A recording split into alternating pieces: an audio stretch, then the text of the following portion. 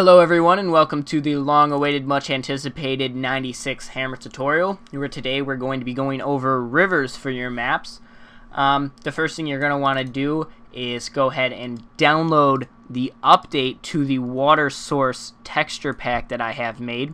I will put a link down in the description below so you can download it. It will be on my site next to the tutorial as well for you to download. I'm going to be doing the tutorial in Source Engine 2009 for Half-Life Episode 2. I already have Hammer open with my map loaded. So inside the map right now, I just have water down here with a short little path for a river to travel down. Um, two rocks up here, another rock here, and then a small area to simulate rapids. Now we're going to be using some particle effects, which you can also find um, included in the water source texture pack uh, that I've whipped up. Some of them aren't the best, but I think that they work perfect for what we're doing. And also, you can fumble around in the editor a little bit. You can load that up with putting dash tools in the parameter. Also, the 100th tutorial will be on particle editor. So just wait for that if you want to learn how to edit them. So I have the game up in tools mode over here. We'll use that later though. So we're going to start off by creating the basic river. So you're going to want to start with your no draw texture and here is my river platform again. Um, the small little area where there's really no origin of the water. It's just going to spawn. So just go ahead and create a brush for your river. Have it go to the end. Um, it doesn't really matter how fancy it is. I'm just going to use this because we're going to turn it into a displacement so we get it to, to flow right. But we do have this on an angle, so I am going to go ahead and lower my grid size. Align this to grid really quick. Grid to 4. I'm going to angle this up. we'll be able to fine tune its settings in the paint this uh, geometry window or sculpt, whichever one you like better. So just angle this accordingly with the vertex tool. Apply that. That's about what we want.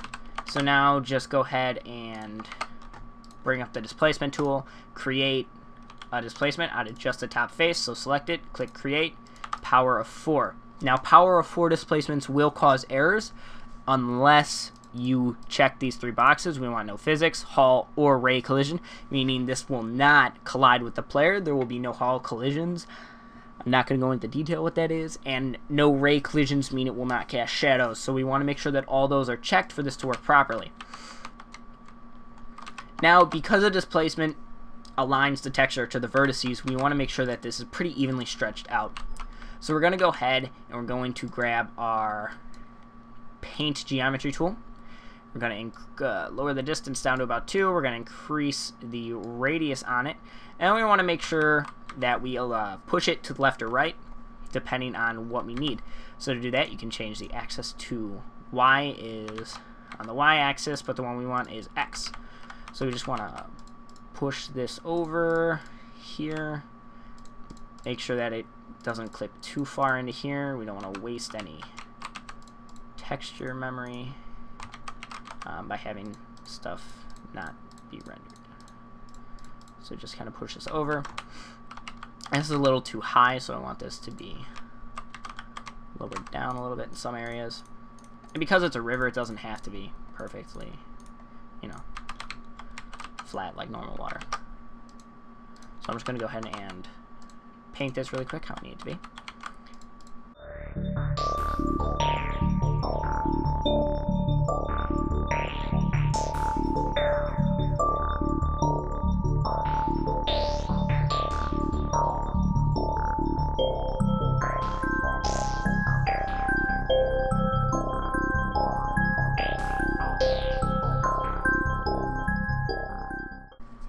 Okay, so this is a pretty general type of thing that you're going to create. Now make sure that, that all the edges meet up to the side here, because if they don't, you will, you will not like how this looks.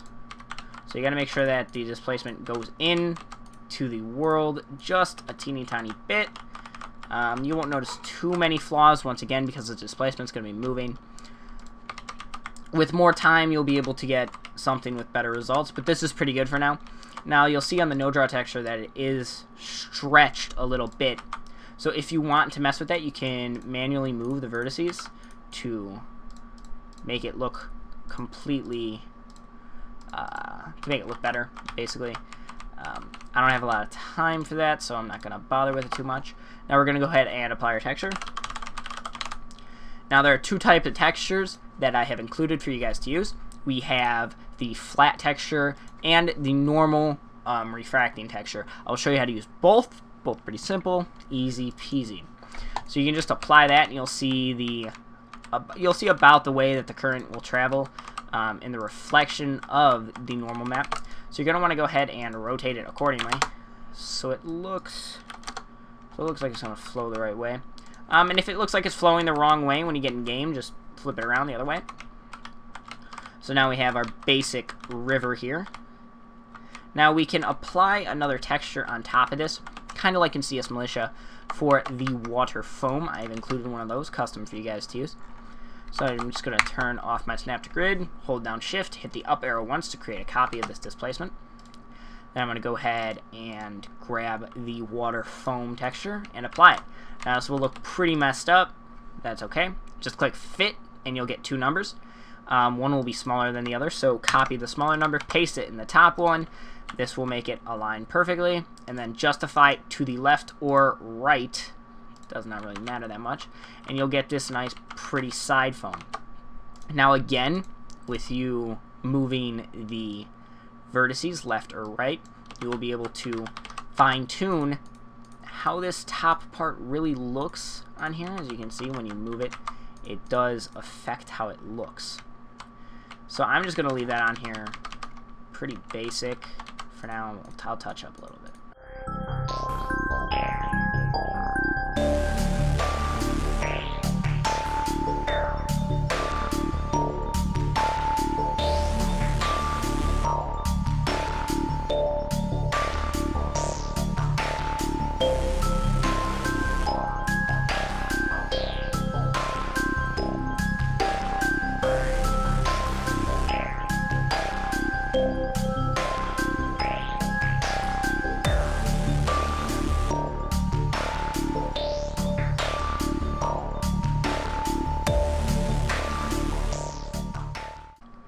Alright, so that's about as high detail as I really want to get with that. Of course, you guys have more time, you'll be able to plot this out a little bit better, maybe think it through, not just rush through it.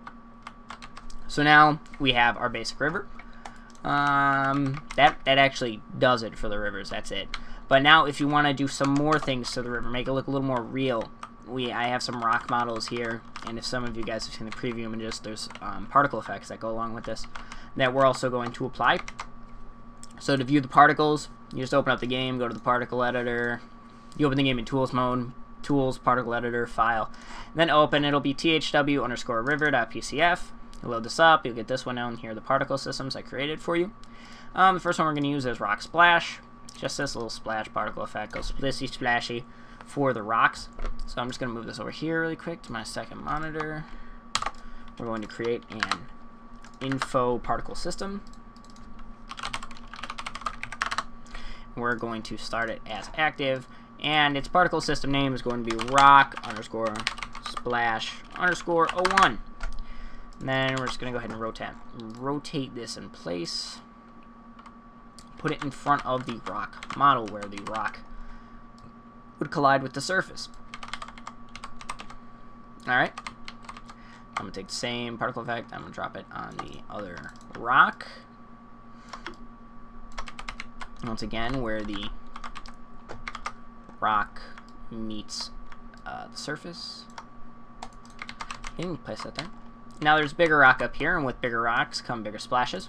So on Splash 2, it's the same, pretty much the same effect, but with a much larger scale. So we're going to go ahead and place that on there as well.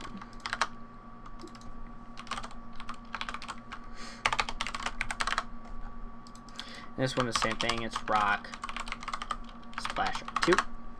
Uh, it just says two at the end instead of a one.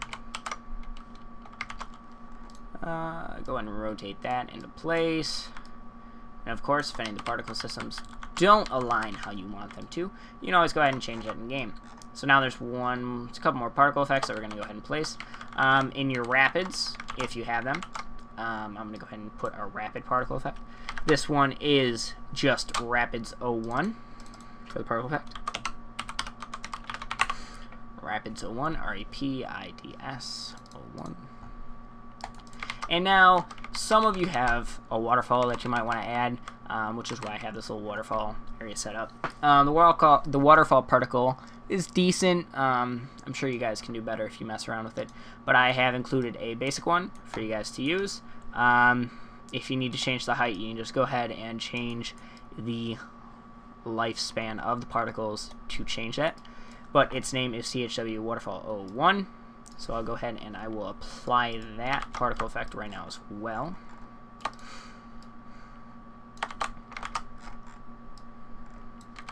And for this particle effect, you're going to place the info particle system about right here in relation to the top. Going to make it THW underscore waterfall underscore 01. And now there's another particle effect that go, there's two more particle effects that go along with it. We have the top splash. It's a little more controlled particle that goes along at the top, kind of does more splashing. Um, makes it look a little bit better. So for this one, you're going to put it a little more closer to the top. And it's going to be waterfall top splash. Apply. Make sure all of these are start active. Because if they're not, they won't turn on. And that would be bad. And just make sure of that. Uh,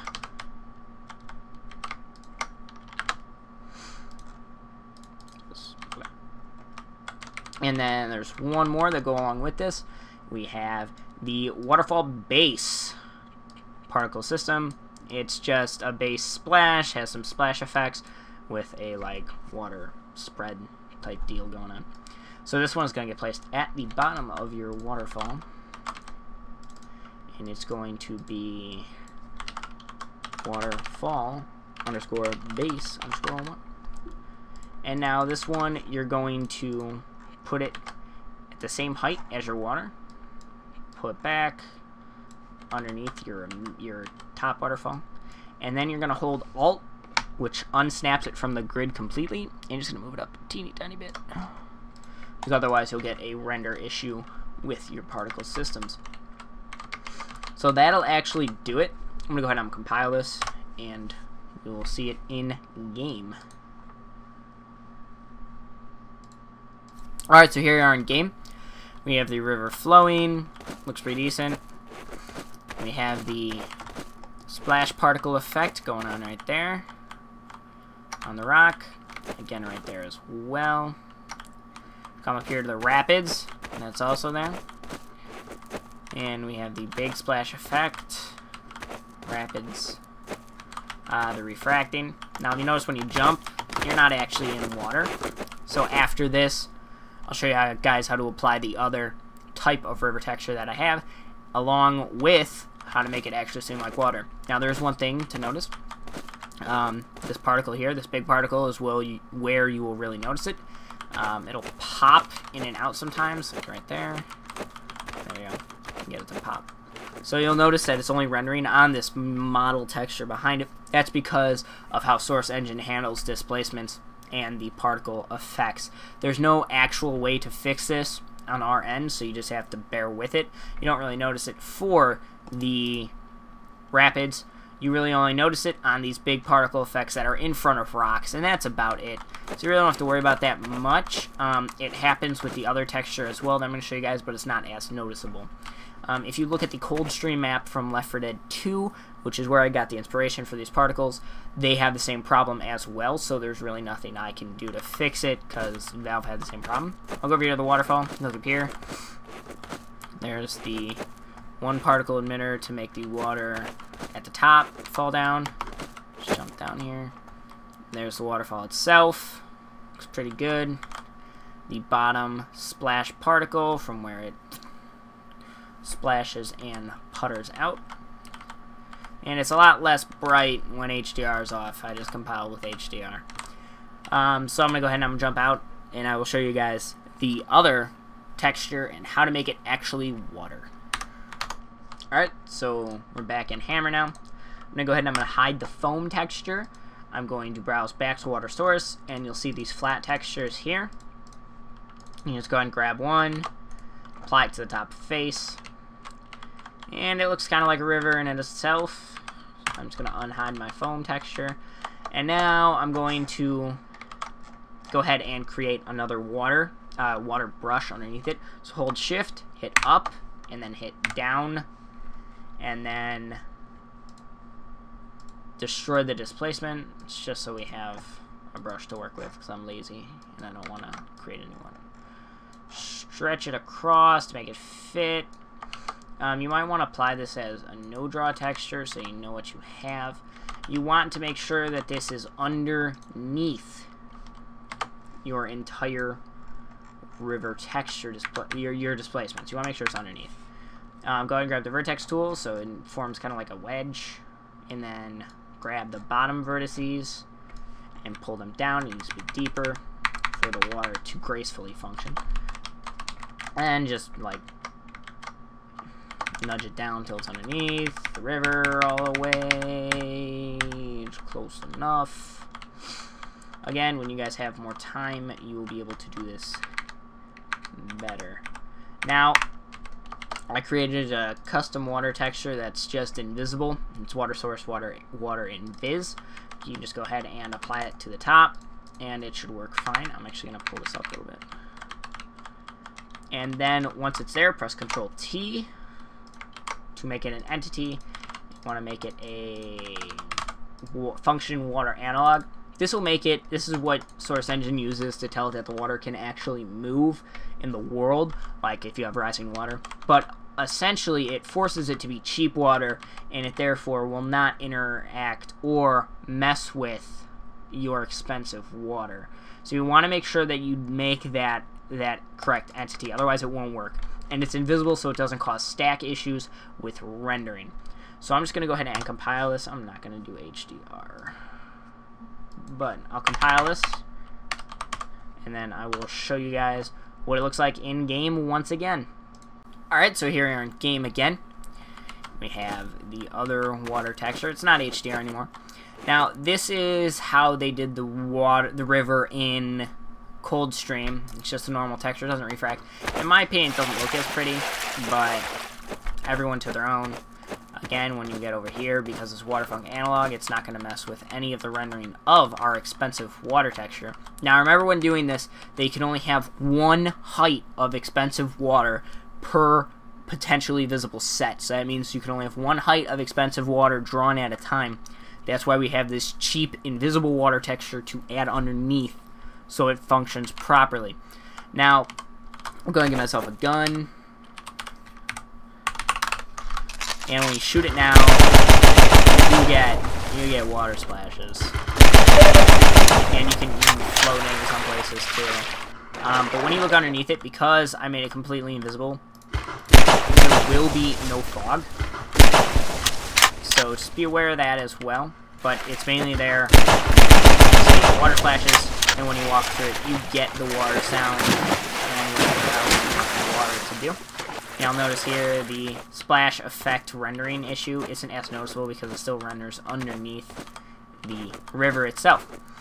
So, sorry for taking so long in this tutorial. I hope it helped you create rivers for your maps. Thanks for watching. Don't forget to subscribe.